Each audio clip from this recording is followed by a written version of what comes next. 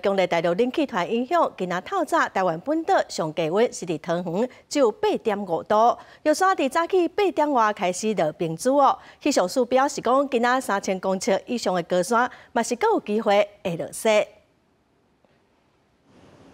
受到强烈大陆冷气团加华南分河区刷到东平影响，全台天气湿湿寒。这礼拜六，台湾本岛上低温出现伫桃园地界场只有八点五度，也那玉山早起八点外也落冰珠。气象署讲，拿水气甲温度配合，三千公尺以上的高山，拜六因为有机会会落雪。在三千公尺以上的高山的话，今天都还是有机会的。那入夜之后，因为水汽开始转少，然后温度上也没有。这么低，所以开始降雪的机会是比较低的。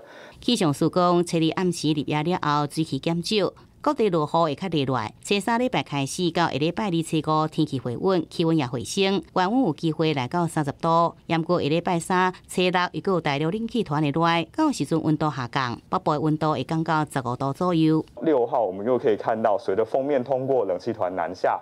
温度上又会有明显的下降，尤其北部地区的温度可能会在六号白天就降到十五度附近。气象署提醒，未来一礼拜天气三阶段变化，温度起降是真大，提醒民众要注意温度变化。出外时阵爱看天气晴沙，也若西半部甲外岛开大高雾，影响能见度。民众出外爱注意路况，也有航班的资讯。记者综合报道。